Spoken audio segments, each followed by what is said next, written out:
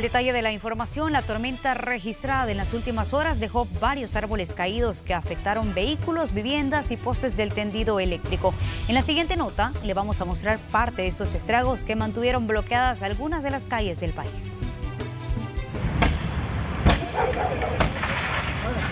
Socorristas trabajaron por varios minutos para liberar a las personas que habían quedado atrapadas en el vehículo que fue golpeado por un árbol que cayó sobre la calle 5 de noviembre y que a su paso también derribó un poste.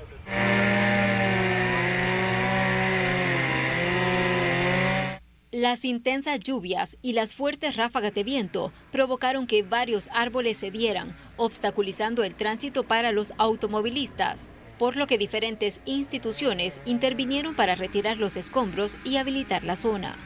Donde tuvimos la afectación de un árbol de más de 15 metros de, alto que eh, cayó sobre las dos calles que vienen de la 5 de noviembre, deshabilitando el paso vehicular. Pero también hemos tenido múltiples afectaciones, 12 vehículos que salieron afectados, que cayeron árboles sobre ellos. Aquí solo en este tramo ha botado tres árboles en lo que es del redondel de la isla hasta aquí a las 5 de noviembre. Y como puede ver, pues también bastantes daños ahí de los cables eléctricos y de todo tipo de, cables. En el pasaje San Antonio y Boulevard Tutunichapa, en las cercanías de la colonia médica, un conductor fue sorprendido por la caída de otro árbol que impactó en la parte trasera de su pickup. Por fortuna, solo fueron daños materiales y debido a las afectaciones que sufrieron varios postes del tendido eléctrico, el sector se mantuvo sin energía. Sí, venía circulando en ese momento.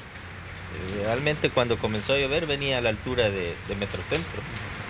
Cuando llegué aquí estaba eh, exagerado los, vientos, eh, que ni no entendía qué había pasado en ese momento.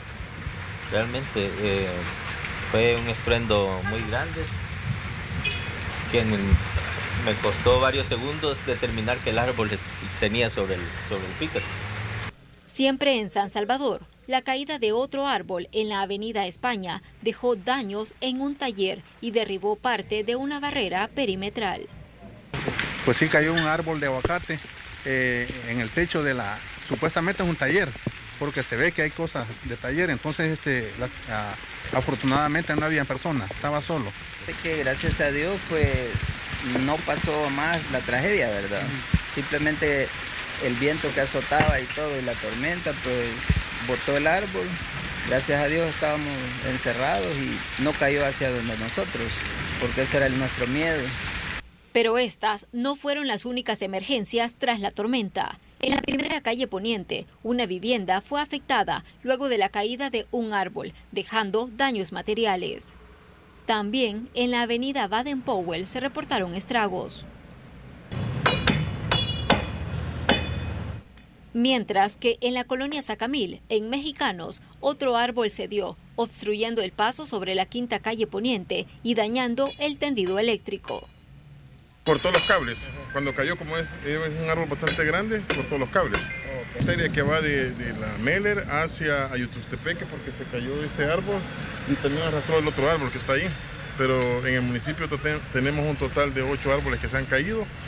Pese al intenso trabajo para remover escombros que realizaron las instituciones que integran el Sistema Nacional de Protección Civil, durante la mañana de este miércoles aún se encontraban bloqueadas arterias por la caída de árboles como este en la calle San Antonio Abad, donde dos vehículos se vieron afectados.